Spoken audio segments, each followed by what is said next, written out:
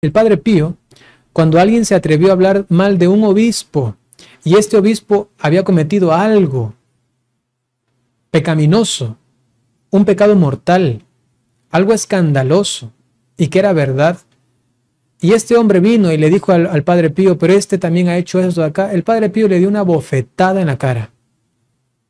¿Y tú qué te crees para juzgar así a un ungido del Señor?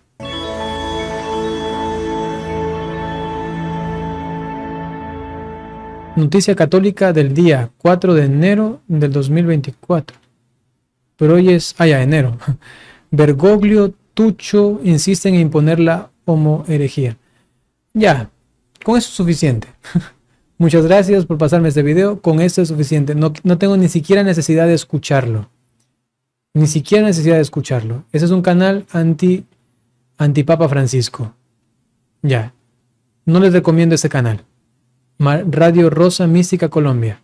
Con todo vamos a escuchar un poquito.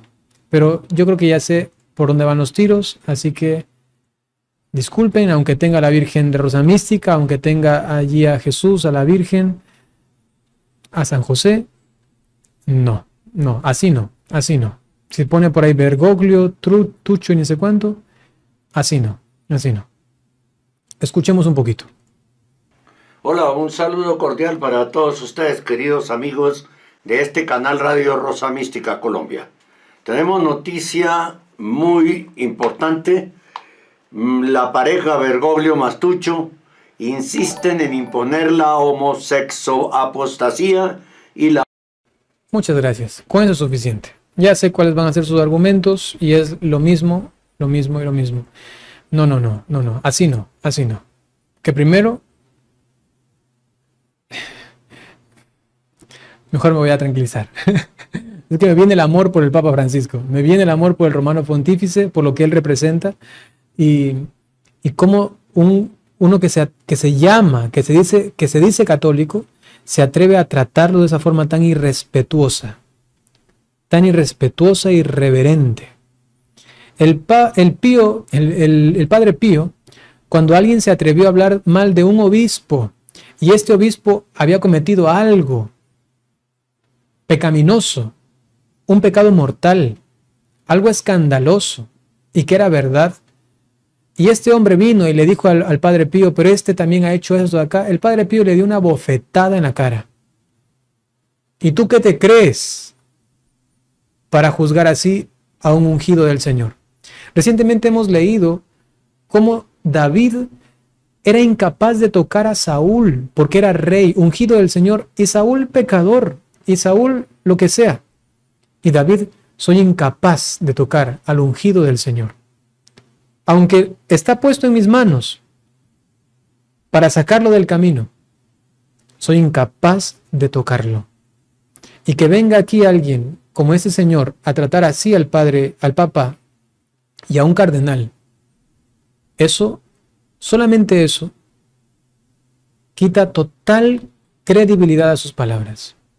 Si cualquier persona se atreve a tratar así al papa, por favor, dejen de seguirlo desuscríbase y olvídese de ese canal. Esto no es de Dios. Lo tengo clarísimo, clarísimo.